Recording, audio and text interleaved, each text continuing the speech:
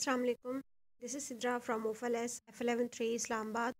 I hope you all are fine. And this is a book of Urdu, Karwan Urdu तीसरी जमात के लिए तो आइए आज का सबक शुरू करते हैं आज के हमारे टॉपिक का नाम है झूठ की सज़ा झूठ की सज़ा एक कहानी है जो कि आज हम लिखना सीखेंगे कि कैसे कहानी लिखी जाती है ठीक है इसके लिए मैंने कुछ अमदादी अल्फाज लिखे हैं आप ये अमदादी अल्फाज इस्तेमाल करते हुए अपनी कहानी मुकम्मल करें तो ये आपने कॉपी में लिखनी है, ठीक है?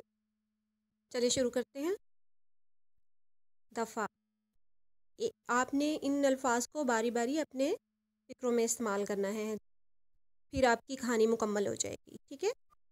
दफ़ा एक दफ़ा का ज़िक्र था, एक चरवाहा एक गाँव में रहता था, वो बकरियाँ चराने जंगल जाया करता था एक दिन उसे शरारत सूझी कि गाँव वालों को बेवकूफ़ बनाया जाए। तो वो ज़ोर ज़ोर से चिल्लाने लगा। बचाओ बचाओ, शेर आया शेर आया। बचाओ बचाओ, शेर आया शेर आया। तो गाँव वाले डंडे उठाकर उसकी मदद के लिए दौड़े आए। तो जब उन्होंने देखा कि चरवाहा खड़ा हंस रहा है और उन्होंने चरवाहे से पूछा तो उसने कहा, मैं मज़ाक कर रहा था। तो वो उसको बुरा भला कहते हुए वापस चले गए। कुछ दिनों बाद दोबारा उसने वही शरारत की।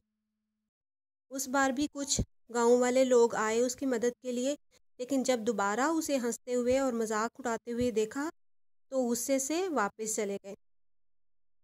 फिर क्या हुआ? कुछ दिनों बाद सचमुच शेर आ निकला। तो वह ज़ोर ज़ोर से चिल्लाने लगा, शेर आया शेर आया।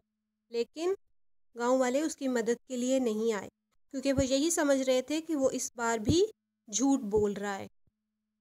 तो शेर ने क्या किया? चीड़ फाड़ कर उसे और उसकी बकरियों को खा लिया। तो इससे क्या नतीजा निकलता है? झूठ का अंजाम बुरा होता है। ठीक है, आपने ये कहानी अपनी कॉपीज़ में लिखनी है और याद करनी है। किसी भी रहनुमाई के लिए आप स्कूल के नंबर पर कॉल कर सकते हैं। Thank you. अल्लाह हाफिज़।